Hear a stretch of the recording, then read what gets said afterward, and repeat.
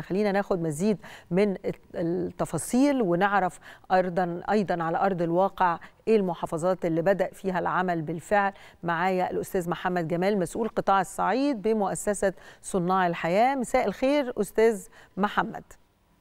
مساء النور أستاذ شافكي وبرحب بحضرتك وبرحب بالسادة المشاهدين. الحقيقة الصورة تفرح القلب وال... و... وأنا شايفة إنه حجم الكرتونة كبير و... وكمية الشباب المتطوع كلمني اولا على يعني بداتوا في أنهي محافظات والعربيات اللي شفناها على طريق مصر في طرق مصر دي متجهة إلى فين؟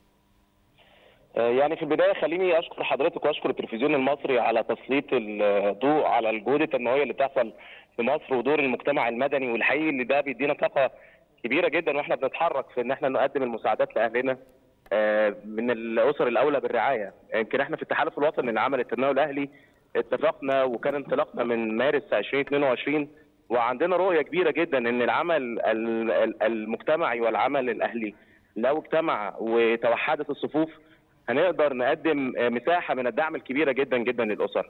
واللي سر فيها هي اللي حضرتك قلتيه هي الشباب والتطوع وإن فكرة التطوع هي فكرة مزروعة في الروح المصرية وفي العقل صحيح.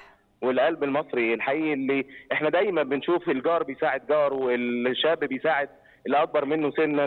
لو حد بيشوف أي حد محتاج بيقدم له دايما المساعدة. مبادرة كتف في كتف هي مبادرة مش ما نقدرش نقول عليها بس هي مبادرة لتوزيع المساعدات الغذائية. وإن كانت هي المبادرة الأكبر في مجال التكافل الاجتماعي والحماية المجتمعية لتقديم المساعدات الغذائية ولكن هي مبادرة أمل. مبادرة بنحاول نوصل فيها رسالة للمستفيد والأسرة الأولى بالرعاية بنقول له ما تقلقش إحنا في ظرف ياما عدت علينا كمصريين. طبعا. ظروف أصعب ولكن إحنا تجاوزنا الظروف دهية بإن إحنا نبقى كتفنا في كتف بعض. بنقول كمان للشباب اللي يقدر يقدم مساعدة ودعم للناس اللي حواليه بنقول له كتفنا في كتف بعض هنقدر نساعد بعض ونعدي الازمه يعني. أكيد. طيب آه مباد... أستاذ محمد جمال قول لي بقى الفعاليات غدا هتكون عاملة إزاي في الاستاد يعني إعلان الاحت... الاحتفالية غدا يعني الفعاليات هيكون شكلها إيه؟ يمكن إحنا من النهارده كده في استاد القاهرة بنستعد لاستقبال وفود من آلاف المتطوعين المشاركين في مؤسسات التحالف الوطني للعمل التنموي الأهلي واللي بنشرف من خلال 33 مؤسسة والمؤسسة عندنا اللي ينتمي ليها مؤسسة صناع الحياة عندنا أكثر من 20000 متطوع يشاركوا في فعاليات مبادرة كتف في كتف. واللي هم الروح الحقيقية والشباب المصري الجميل اللي قرر إن هو يتطوع بوقته وجهده وماله وتبرعه عشان يقدم المساعدات للأسر اللي حواليه. إحنا النهارده في استاد القاهرة بنجهز لاستقبال المتطوعين من غدا صباحا وهيزيد احتفالنا سعادة بإن سيادة الرئيس عبد الفتاح السيسي هيشرفنا في احتفالية كتف في كتف وإطلاق المبادرة في توزيع 4 مليون مساعدة غذائية.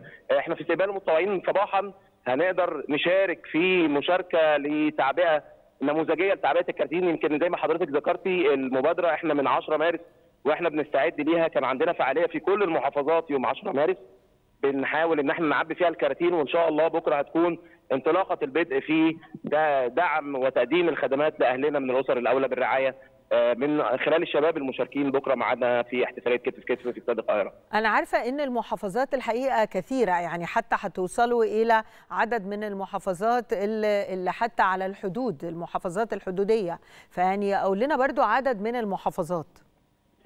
يمكن تركيزنا بشكل كبير جدا جدا إن إحنا نقدم الخدمات لأبعد محافظة بنتحرك عليها فكرة المحافظات الحدودية محافظات الصعيد محافظات الدلتا مفيش محافظة في مصر إلا بنشتغل عليها ولكن عندنا منهجية عمل هي إن إحنا بننزل دراسة لكل القرى المصرية اللي إحنا بنشتغل فيها علشان ندرس للوضع الأسر واحتياجها عشان نقدر نقدم لها المساعدة الحقيقية اللي بنشتغل عليها. يمكن إحنا عندنا عربيات بتتحرك النهارده رايحة مرسى مطروح عندنا كمان تريلات وعربيات بتنقل المساعدات الإنسانية لشمال سيناء وجنوب سيناء عندنا عربيات رايحة حلايب وشلاتين. النهارده إحنا من يوم 10 مارس وإحنا بنوزع في صعيد مصر. إحنا كنا في احتفالية يوم 10 مارس في سوهاج وفي أسيوط وفي جنة لحد أسوان بنوزع فيها المساعدات الغذائية من خلال مؤسسات التحالف الوطني للعمل التنموي الأهلي واللي بنكمل فيها المسيرة إن شاء الله. ونحتفل بكرة به إن إحنا بنكمل 4 مليون كرتونة بنوزعهم في كل محافظات مصر. أكيد. أنا عايز أعرف بقى هل أقدر أعرف الكرتونة فيها إيه؟ اولا حجمها مثلا هيكفي الأسرة لمدة قد إيه؟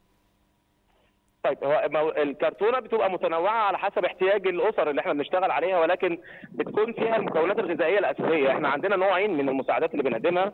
هو نوع من المساعدات الجافة اللي بنقدر نديها الأسرة هي قادرة على إنها تعتمد على نفسها تمام. فبيكون فيها عدد من أكياله بيقلش عن 4 كيلو رز موجود فيها 2 كيلو سكر في زيت في آه، صلصة في ملح في المكونات اللي بيحتاجها الأسرة. من آه، جبنة فول آه، بلح الاحتياجات اللي بيحتاجها في خلال شهر آه رمضان. اللي تقدر تبقى خزين عنده لمدة الشهر.